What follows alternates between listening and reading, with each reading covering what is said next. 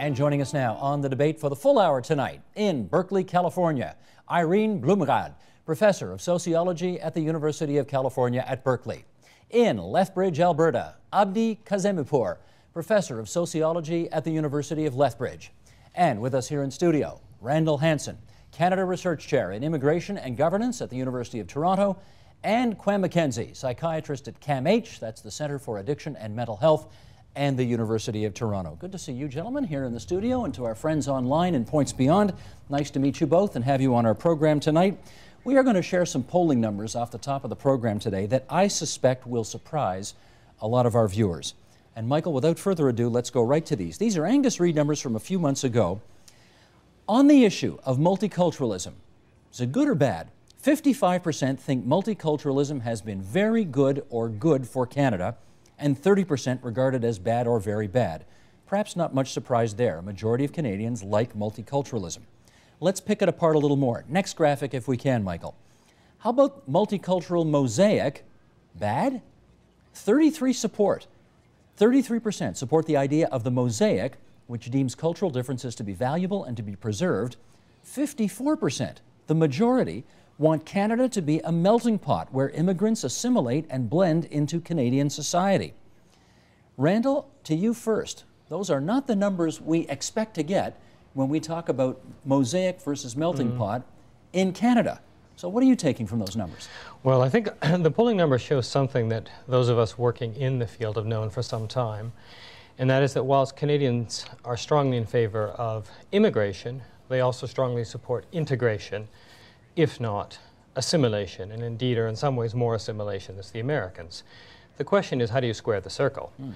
And it seems to me when you ask Canadians about multiculturalism, you're not really asking them about what we might think of as multiculturalism, integrating through your culture and keeping it separately.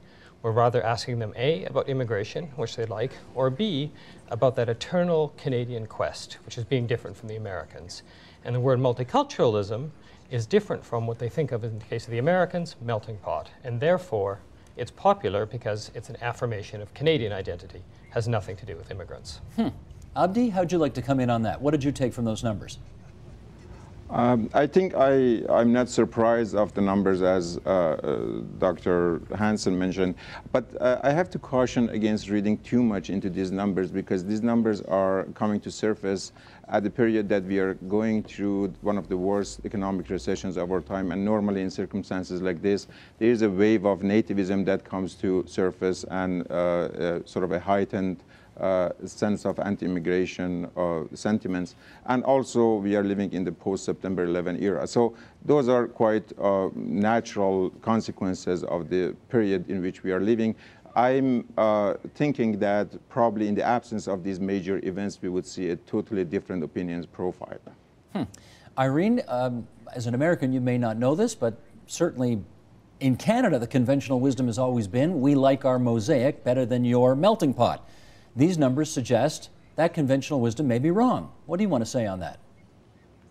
Uh, first, I'll correct the first part. I actually am Canadian in the United States. Um, well, thank you so for that correction. How about that? I was, I was now here. I was going to say I think you're a Dutch American, but obviously you're a Dutch Canadian. okay, Canadian, yeah. good stuff. Let's there clarify that right off the top.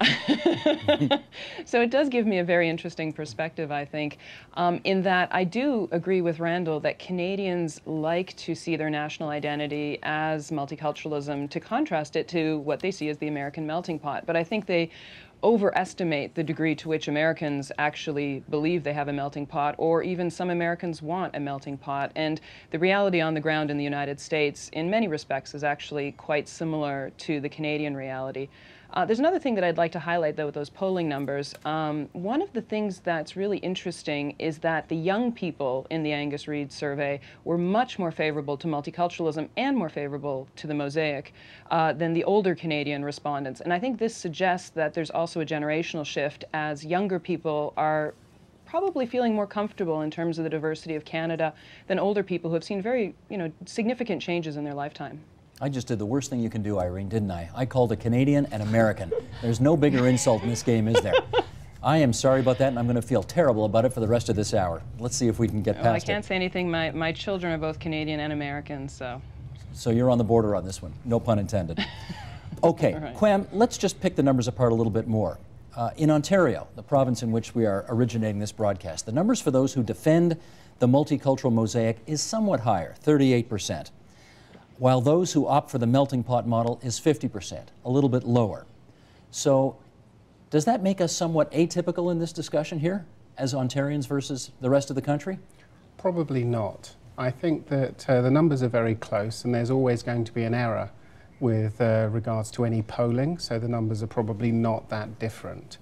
I, I think sometimes these uh, uh, polls can be misleading, partly because we presume that we know what that we know what people were thinking of when they answered it. So we think that we knew that we know what people were thinking when they said that they thought that the melting pot was good or the mosaic was good. So these are terms you think the respondents may not fully appreciate? Uh, they're terms that um, we may have a different, you know, we may have a different view, and I think that's what Randall was saying. That um, you know, when people talk about the mosaic, they're some, they're in part talking about the mosaic, but they're also talking about being different from uh, the Americans. And mm. certainly, some people who are coming here like me, when people are talking about um, what the melting pot would be, I don't know which pot I would actually melt into. I mean, if we did it chronologically, we'd all be melting into an Aboriginal or First Nations pot. Mm-hmm. If we did it in Toronto by the size of the population, then we would say that 78% of people who are first or second generation um, would uh, be the pot that the 22% of people who are called standard Ameri- uh, standard Canadians. See, now I've done it. You've got me doing it's it. contagious now, yeah, it? I'm calling you can- an American just because you spent some time there. You've been tarred with the brush of being Canadian, uh, being American. So, um, you know, who, where do we melt into? You know, is it done on the size of the population? Is it done on the number of the long, length of time people have been here? What are we talking about? And what is it to be Canadian anyway? What are we melting well, that, into? That's the huger question. We are going to get to all this. But I want, Randall, I want to go back to you because I know when Abdi talked about the Great Recession and the role that that might potentially be playing in the uh, influencing of those numbers, uh, your eyes went up. What did you want to react to there? Well, I just want to reject the idea that this is in any, any way sort of a rogue poll or that it, it, has something to do with the recession. It doesn't, because we've got this number before. I've seen data like this for years and years, including 2006, about the peak of the most recent economic boom, where Canadians are asked very clearly should uh, immigrants be reasonably accommodated? Very loose language, reasonably accommodated, mm-hmm. or should they fully adapt to Canadian culture? Strong language. Whatever that means. Sure, whatever it means, we have to go that. But that's, a very, that's comparing quite a strong assimilationist stance with a very weak multicultural one.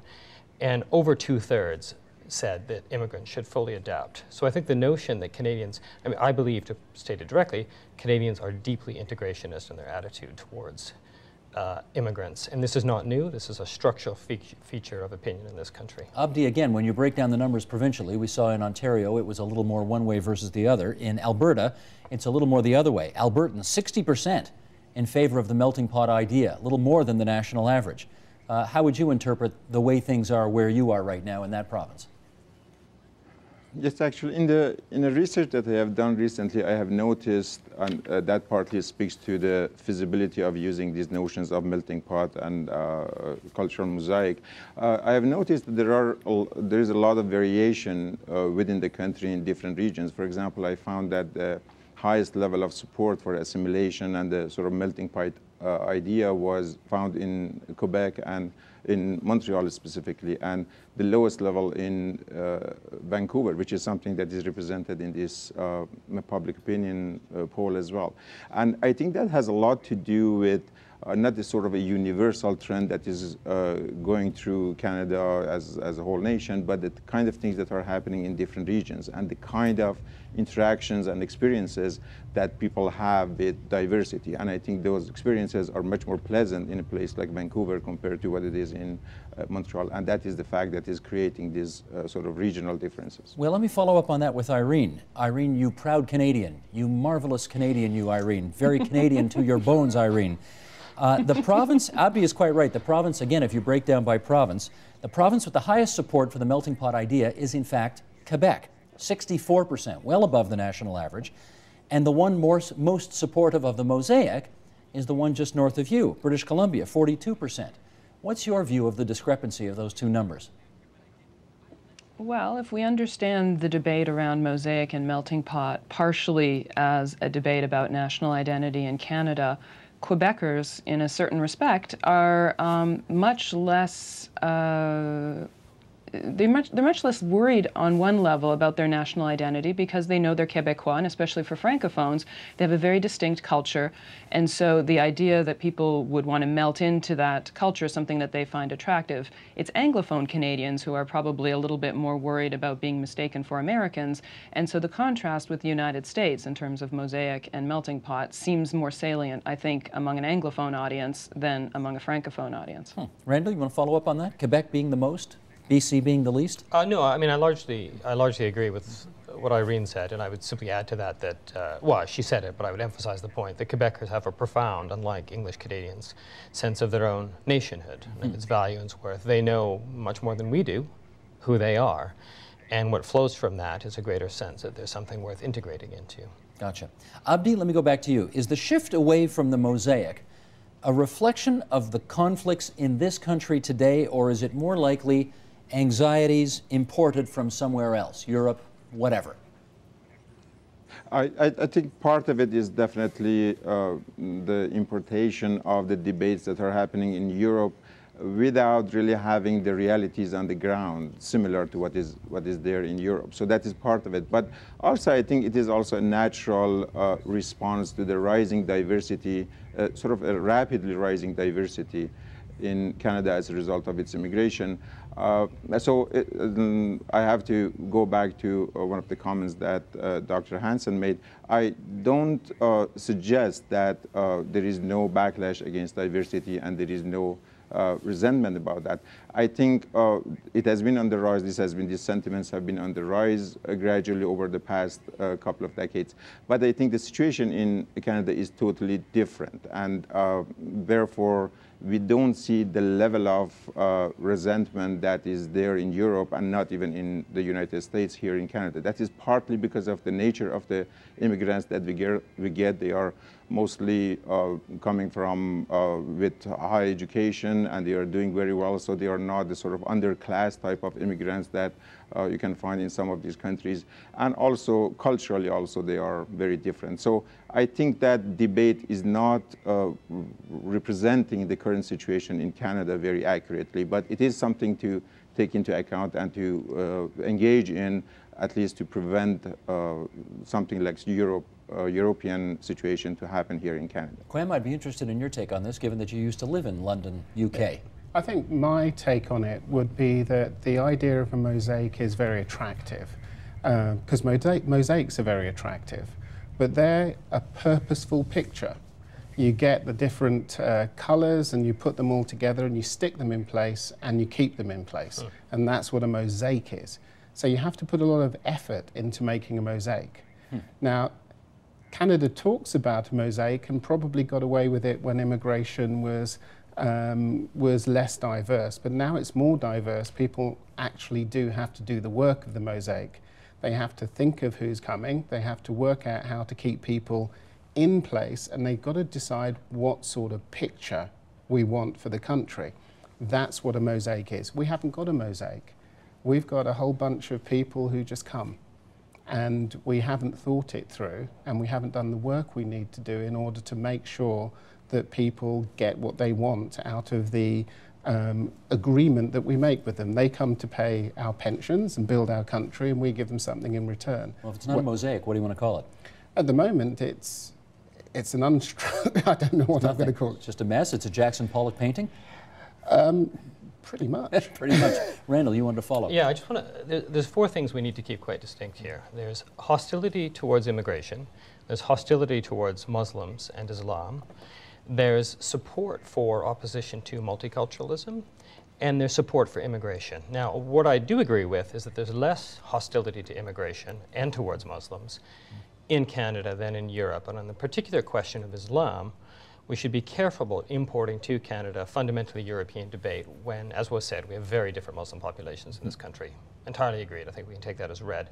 However, I don't, what I want to keep off the table, or what I don't want to embrace, is the notion that there's anything pernicious, suspicious, uh, disreputable about opposing multiculturalism and supporting integration. At the very least, it's entirely consistent with strong support for immigration on the one hand and also for sociological multiculturalism, which is to say, you can love all of the um, sociological aspects of diversity, people from different experiences, different language, different restaurants, and still believe in a common core to which we all hmm. subscribe. And that, to me, is what integration means. So I strongly support immigration, but I'm suspicious of substantive multiculturalism, but strongly support sociological multiculturalism. Graham, you want to come back on that? I, I, I, did, but I think Randall got to the place where I was trying to trying to understand what you meant by integration, sure. uh, because you're talking about integration into society rather than assimilation, where people lose their heritage and their culture.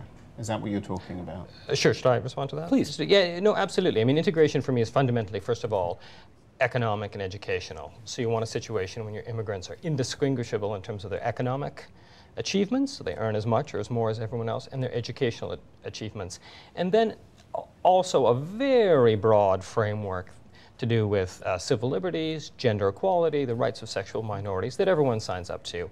And beyond that broad framework, there's a massive degree of individual diversity allowed. And if we make the American Canadian comparison, you are incredibly hard pressed to say what you can do in Toronto that you can't do in Los Angeles or New York City mm-hmm. or Boston or, frankly, if we're talking about sociological multiculturalism, London. One more shot at Kwame, and then I want to hear Irene on this. The reason that I brought that up is because there is a lot of research which shows that assimilation, where you lose your own culture, is bad for your health, is bad for your mental health, but is also bad for your kids' mental health.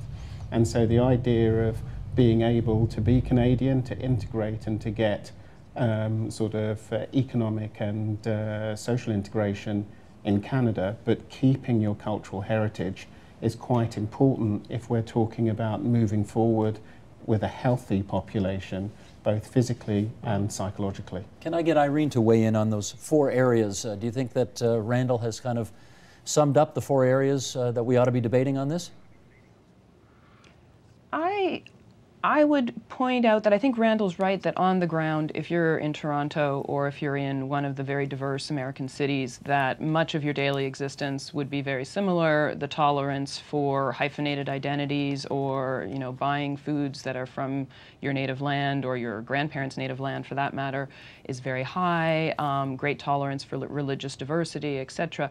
There is a difference, though, in the United States and Canada in the way that diversity is articulated. In the United States, um, as many viewers probably know, there's much more emphasis on what's called pan-ethnic or racial categories. So people are African American, Asian American, Latino in the United States, and those are very salient categories to people. Whereas in Canada, the way we talk about it is very different, either national origin um, or ethnicity, uh, Chinese uh, Canadian, Indian Canadian, Italian Canadian or the, the sort of amorphous category of visible minority. And that offers both opportunities, I think, in Canada and also perhaps creates some problems in terms of addressing racism. And in, to a certain extent, I think the debates that we're seeing right now around the mosaic or the melting pot in Canada is uh, debates around trying to figure out how to make sure that there's an equality of opportunities for all Canadians. And I think if, if we're talking about metaphors, I, the metaphor that I would like is more sort of an impressionistic painting of Canadian identity where it's not set in stone, it's not the mosaic where each tile can't move, but it's definitely not a Jackson Pollock painting either, where there is a sense of a core Canadian um, notion of what it is to be Canadian, but it's one that can shift or people can see different things into, and that has shifted over the last hundred years. Abdi, let me get you on that. This notion that we're really more of an impressionistic painting than a Jackson Pollock, what do you want to call it? Mess or lack of organizing principle. Uh, Go ahead. Yes, I, yes, I, I think uh, it might be helpful when we are thinking about uh, these different scenarios of integration versus multiculturalism to think first of uh, identity integration as pro probably the most fundamental type of integration that we can think of. All the sort of cultural integration, educational integration, economic integration are great and they have to be there, but they are not sufficient. They are just setting the stage for this last and, in my view, the most uh, fundamental type of integration, which is identity integration. So feeling uh, having a sense of belonging and having uh, a sense of sort of common identity with the rest of the population. That's one point. The second point is that when we are thinking about this identity, we should stay away from thinking about just one identity per person. So they don't have to choose one identity over another one. They can have, and they do have people, uh, multiple identities. So I guess the question would become how they can manage these multiple identities in a way that it creates an identity profile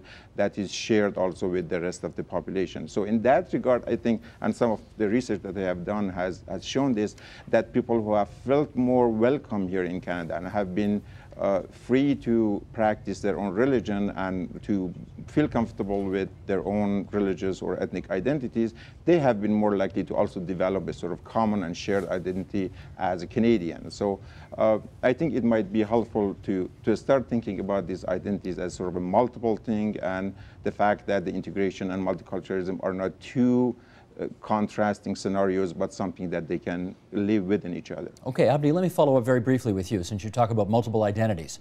How do you self identify? I identify my, myself as, depending on uh, what is the sort of main issue at hand, as a Persian Muslim Canadian.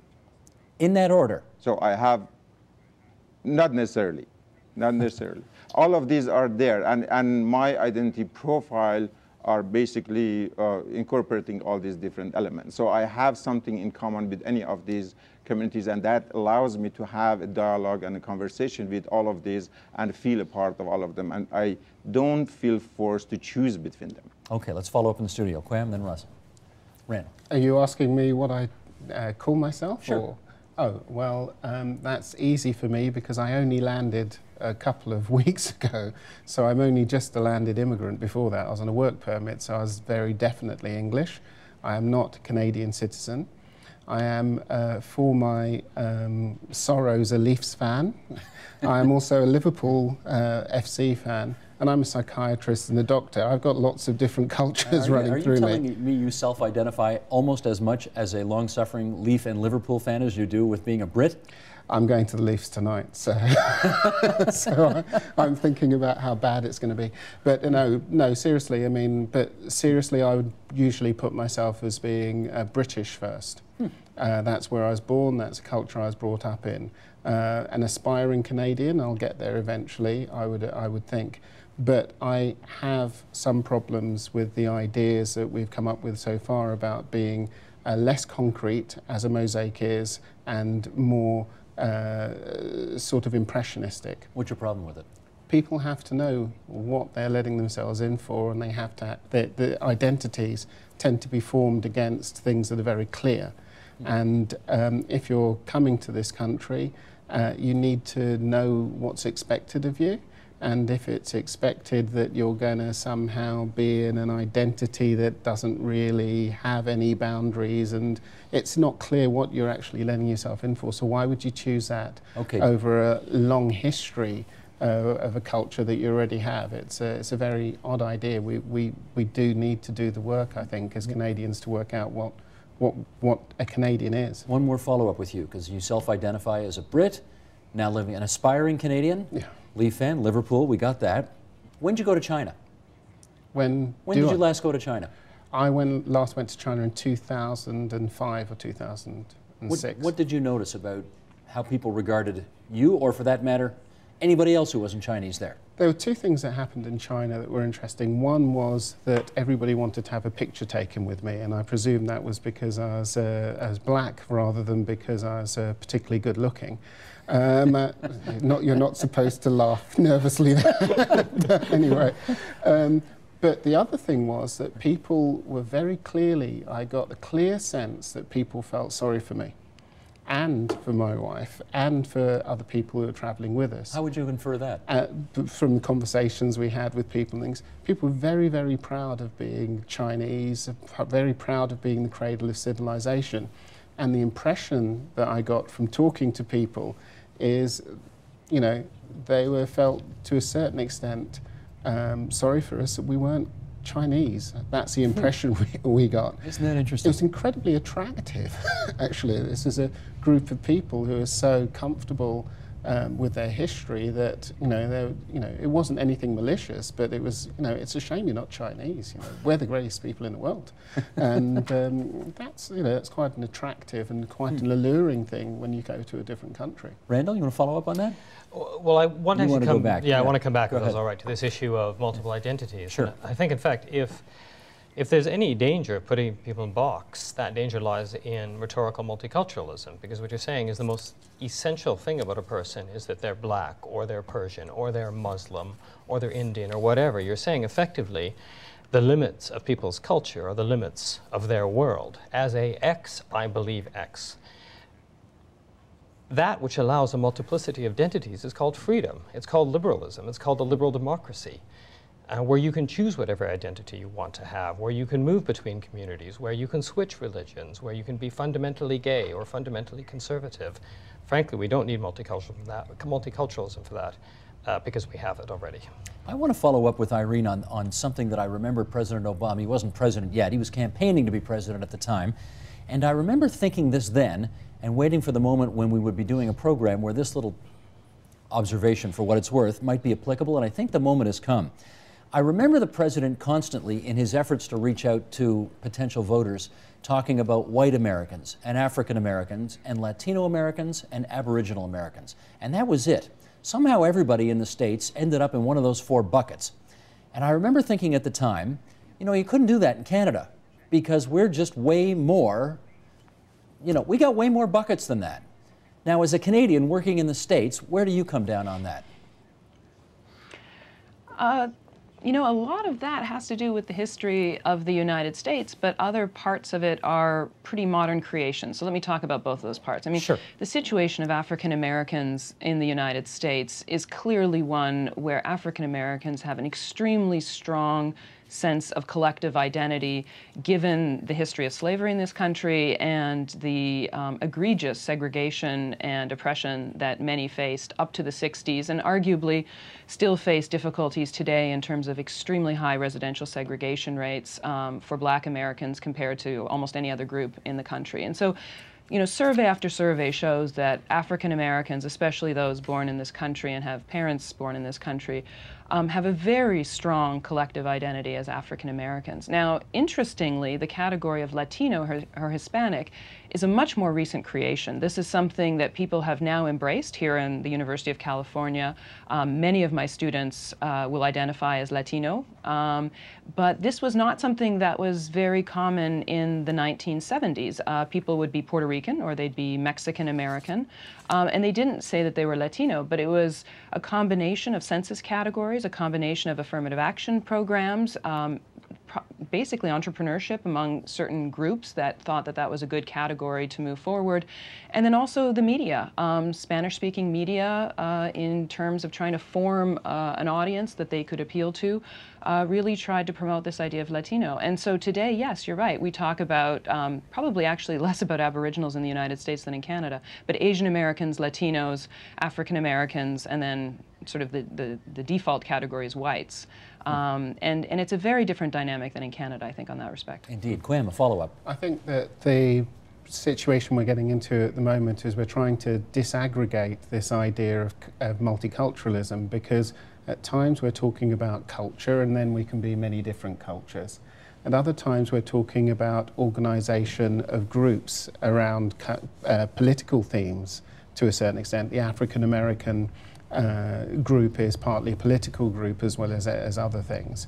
And then other times we're talking about ethnicity, which is a group that you feel that you belong to, which isn't always a cultural group. Mm. And so we're getting a lot of different terms uh, mixed up, and that's why we have difficulty sometimes moving the conversation forward. Because I think everybody would agree that most people have a number of different cultural elements that mm goes through them. But we also realize that if you just go around Toronto, that a whole group of people with lots of different cultural elements want to live together in one area and want to group together because they see that um, they have more similarities and differences. So, uh, but that doesn't stop people being sort of, you know, uh, African, ca uh, Canadian and gay It doesn't stop people being sort of African Canadian and Muslim. It doesn't stop people being African Canadian and Christian. But mm -hmm. you know, people do group together for various reasons. All right, let me go to Abdi on this then. And it occurs to me as soon as the words were out of my mouth, I think the president, the now president, used to have five identifying features. It was black, white, Asian, Latino, and then Native Americans. I think there were five groups, but still, that wouldn't compare to Canada. And uh, uh Abdi, on this issue then, are we done then? Are, are things too complicated? Have they progressed so far nowadays that using terms like melting pot and mosaic just don't make any sense anymore? Uh, I think they were not uh, useful concepts to begin with at the time that they were uh, much more popular than today. Uh, partly because they are more sort of simplified concepts that are good uh, to serve as the mm, two ends of a continuum so that we can look at every particular community and decide whether they are closer to this end or the other one, not necessarily as characterizations of one whole society with all the diverse things that are happening within them. That's, that's one thing. On this issue of uh, multiple identity that uh, we were talking about before, I think what Irene mentioned is an important uh, development and is something that uh, is happening in Canada to some extent as well. The folks that are coming from Muslim countries initially identified themselves as being Syrian and Egyptian and Moroccan, but over time they developed this sort of common identity uh, to be a part of the Arab uh, group or the Muslim groups. And this is uh, the direct product of the kind of interactional experiences that they have here in Canada.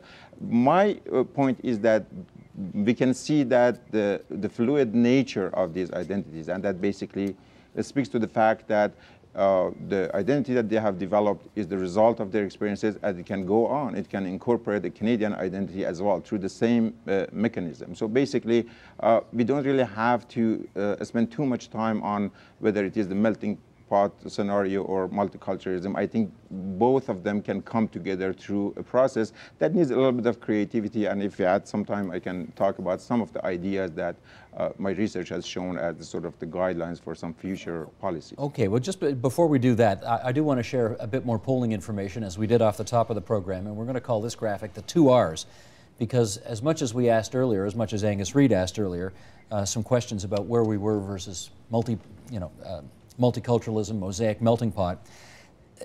They also did some polling on the issues of intolerance. And let's bring those up if we can now, Michael. Which groups in Canada, we were asked, which groups in Canada uh, face intolerance?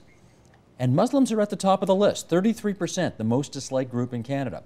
The second largest number from respondents, immigrants from India and Pakistan, so South Asian. 16% then said immigrants from Africa, and 10% said immigrants from China question's not about their own prejudices, but about the perception of Canadian attitudes. That's what it was about. Now, we, I, I think it's fair to say that we've traditionally in this, in this country thought of um, these kinds of issues as being issues of racism, but maybe they're not. Maybe they're issues now about religion. Randall, you want to go there? Is it more now about religion than race? Uh, it's difficult to say. I mean, it's hard to know how to read that data because that either could say, well, there's lots of prejudice towards Muslims, or in fact, there's not because lots of people are worried that there's prejudice towards Muslims and therefore are sensitive to the problem. Certainly, we're spending a lot of time talking about religion uh, these days, a lot of time talking about Islam. And I think the danger in that, and this might be the burden of your question, is that we're ignoring racist exclusion, which is still very much with us and very prevalent in the, uh, in the city of Toronto, as indeed in the wider, wider world. And we're ignoring what fundamentally matters, which isn't culture, which is work, which is economic integration, ensuring people have jobs, ensuring those jobs provide opportunities for them and their family. So I think much of the discussion of religion, which is really a discussion of Islam, is a distraction from what really matters. Irene, what's your take on that? I agree with Randall that um, a very important challenge um, for, for Canadians is the economic integration, you know, integration into our educational institutions of um, immigrants and their children. Um, on one level, though, I, I, take some comfort in the recent Statistics Canada report that showed that the children of immigrants actually went to university more than the children of native-born Canadians. Now, obviously, I'm somewhat of a product of that, so I'm glad to see that I'm doing well. Um, but uh, you know, I, I disagree a little bit with what was said about um, multiculturalism not really being that important or that that's not part of the picture because I think that fundamentally we have to make sure that immigrants and their children are being treated equally and are getting all the opportunities that they should have in the workplace and in other elements of Canadian society. But I also think that multiculturalism, at least in the past, played an incredibly important role in changing sort of the symbolic order in Canada. I mean, if you go back to the 60s and you look at the tenor of the debates in Canadian newspapers and in the Parliament, the only discussion was about the two founding races, and that was the language that was used, the English and the French. And there was really no room at all um, for people who might have different cultural backgrounds, and whether they practice those cultures or whether they just identified with them. Um, there wasn't a discourse in Canada to include them to the extent that is done today. So I actually think that multiculturalism has been extremely important for giving people the sense that they are part of the society and that they can therefore make claims. And so that when there's discrimination and when they're being treated unequally because of their religion, they can say, wait a second, you guys say that you are a multicultural society and you welcome diversity, and look how I'm being treated. I wonder if you could put a, a, kind of a target date on when you think that happened. I guess some people would say when, when the first non-English, non-French prime minister was elected, John Diefenbaker in the, in the late 50s, you could start the clock then. Is that when you'd do it? I don't know. I mean, Diefenbaker. If you read, uh, if you read some of the things that he said in the House of Commons, he was he was a pretty strong Anglophile and and pretty proud of the Commonwealth, if not the Empire. Um, you know, some people would would uh, date it from 1971 when Pierre Trudeau announced a policy of multiculturalism in the House of Commons. Um, I think, in a sociological sense, it really began when educational institutions like elementary schools started taking very seriously the idea that you're not only going to learn about the Loyalist when you're talking about Ontario history, um, but you're going to talk about the contribution of other Canadians. And for example, in BC, or hopefully in all Canadian textbooks, talk about the contribution, say, of Chinese Canadians in building the railroad, um, the contribution of Aboriginals, uh, and, and sort of the interplay of many different people in building Canada. Gotcha. Kwame, how about on this issue of, of whether prejudice has migrated from, say, race to religion? What do you think on that? I think that uh, prejudice has in the past been religion, then it moved to race, and now it's back to religion again. So probably the first race riot that there was in uh, Toronto was in Christie Pitts, and that was a religious uh, riot. In the UK, we had the black shirts in the 1930s. Uh, again, it was anti-Jew. So um, there have religion has always been important. Uh, it's just uh, you know racism changes over time, discrimination changes over time. And uh, so we're back in an era where we're talking about religion. Not, not to pick this apart too much, but I, I, presume the Christie Pitts you're talking about is the, you know, when there were a group of Jews, I guess, who got into a fight there over issues really leading up to World War II. But the people who were beating up the Jews that day in Christie Pitts in downtown Toronto may have felt that they were not beating up people of a certain religion, but rather of a certain race. And therefore, this is, you know, consistent with, you know? I understand, but that's part of the, you know, if we talk about race, race often doesn't make any sense.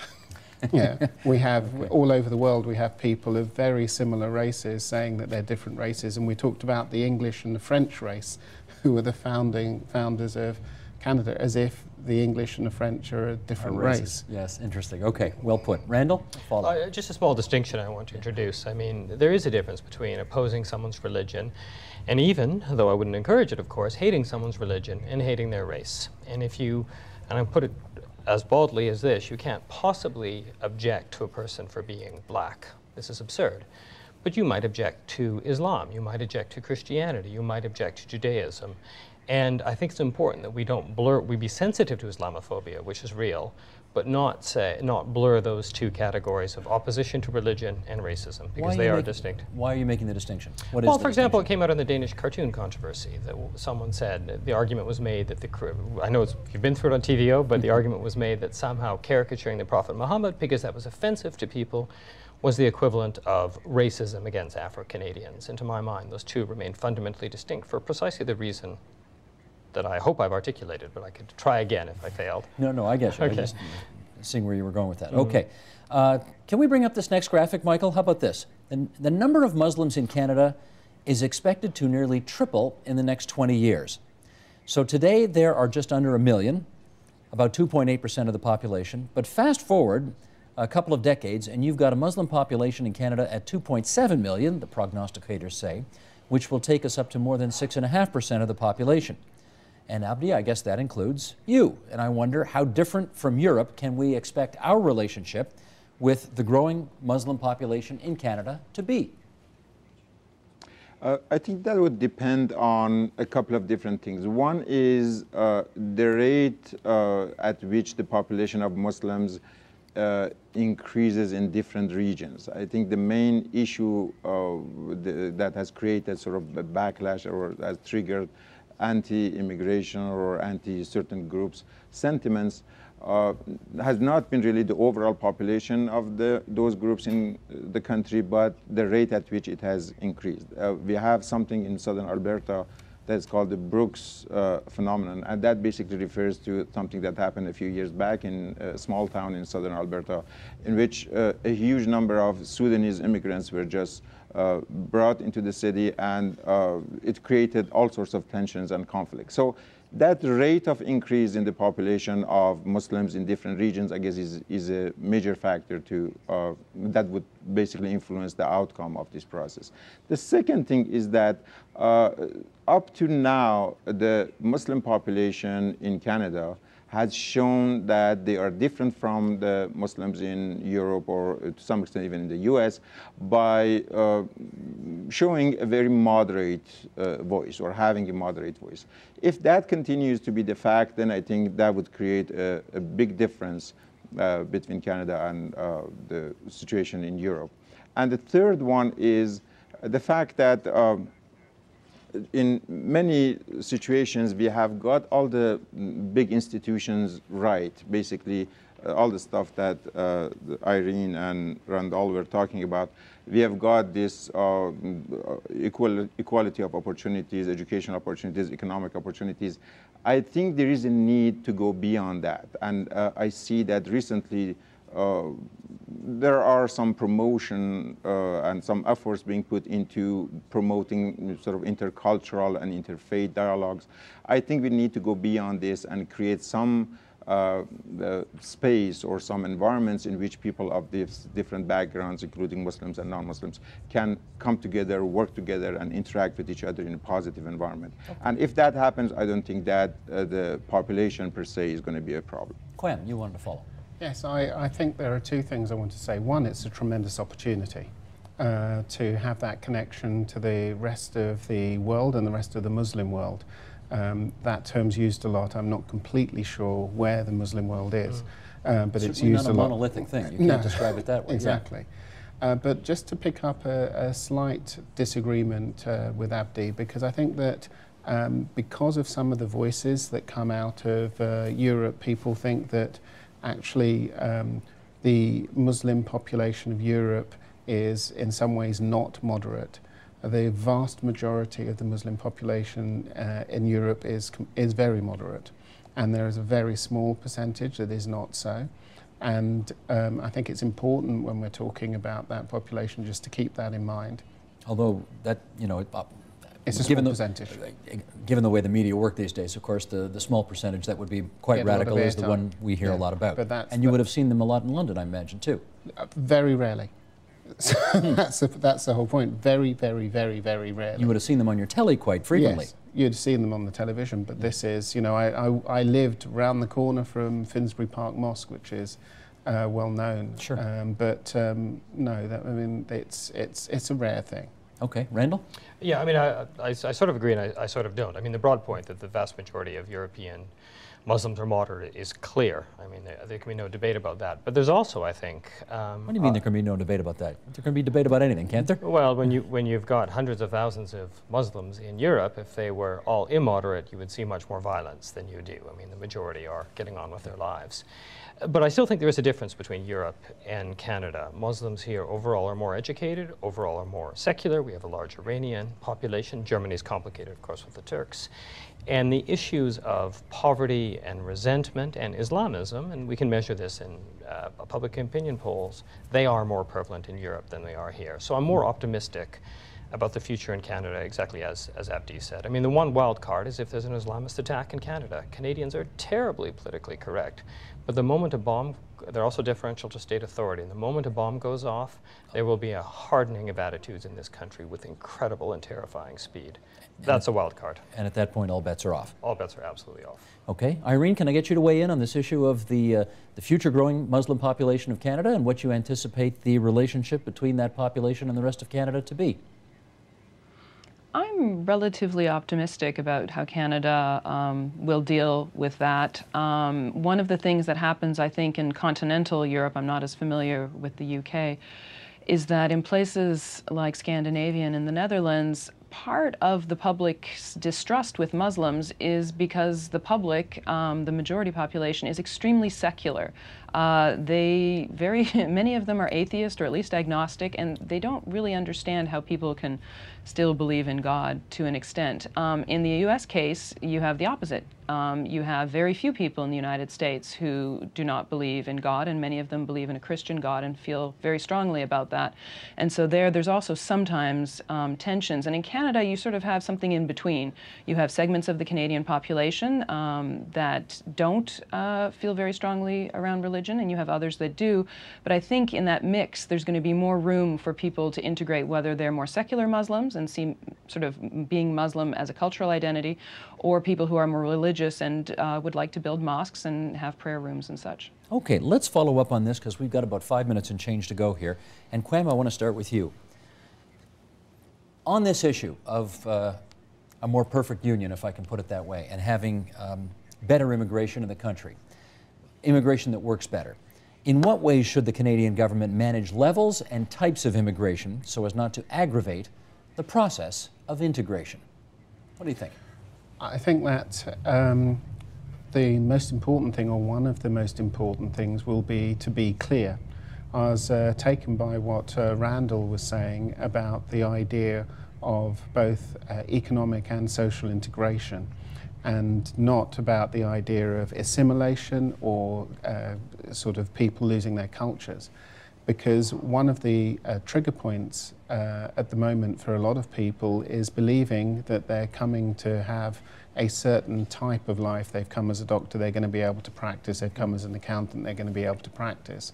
And then finding they're not able to do so, coming with a university degree and finding that they're not going to be able to um, they're not going to be able to practice um, their profession. So we got to be straight with people. So you've got to be straight with people. If we're in a situation where we're saying, you know, to people, well, I'm, you know, I'm really sorry, this isn't going to happen for you, but it's going to be great for your kids. You know, people can live with that, but it's got to, you've got to be completely clear in who you're bringing, why you're bringing them, what you're bringing them for, and then helping people to get what you promised. I'll tell you one of the things we've heard all week long, numerous times, is that the proficiency in English, or for that matter in French, that you need before you can get into this country is here, but the proficiency of English you need to really engage in Canadian society is here. And it does no good to bring people into this country who can't speak the language as well as they ought to be able to when they can't really partake of the country in a way that would make them feel fully Canadian. Well, you also have a federal and provincial disconnect. So you mm-hmm. can get in under the federal criteria right. and they will recognize your degree and then you come into a provin- um, province mm-hmm. and a province will say, I'm sorry. you know, you can't practice and then we get back to even if you have got a degree that we recognize, you haven't got Canadian experience. Right. And I think sorting out those sorts of things, as well as spending more time and money on um, how we deal with our cultural diversity is going to be very important okay. going forward. Let me go to Abdi on this. Same question, Abdi. In what ways should the Canadian government manage levels and types of immigration so as not to aggravate the process of integration? I think, like I mentioned before, uh, the level and the numbers are probably not uh, problematic by themselves, depending on what happens to them afterward and af after they come into the Canadian society.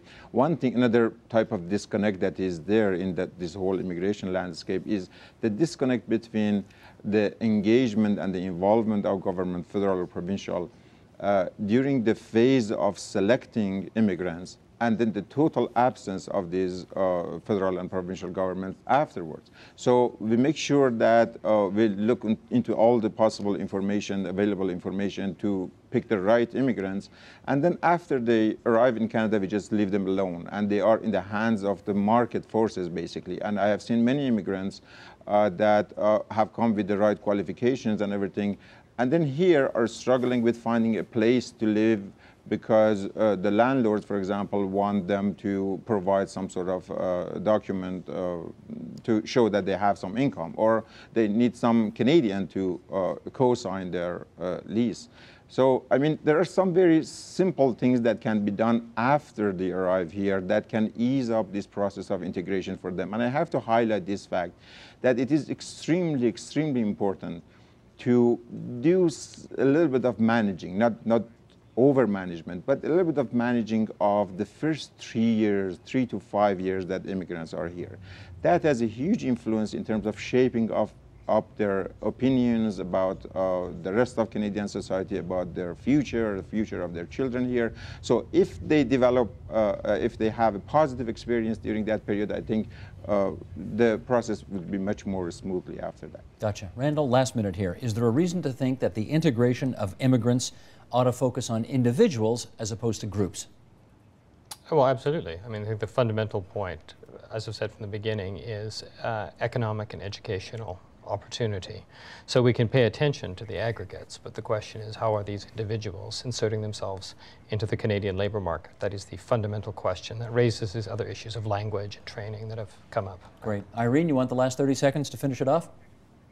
Sure. Um, I would like to say that one of the things that has really been successful in Canadian immigration policy is the fact that many, most people, the vast majority of people, come as permanent residents. I mean, uh, Kwame talked about how he had just gotten his permanent residency, and that tells the immigrant that we want you to become a permanent member of this society. I think one of the dangers right now in Canadian policy is the move to temporary visas and temporary migrants, because as the Europeans found out, there's nothing more permanent than a temporary migrant, but you're telling those people people that we really don't want you. We want you to work here a few years and then we want you to go away. And that's actually, I think, more of a danger for social cohesion than a lot of these other things.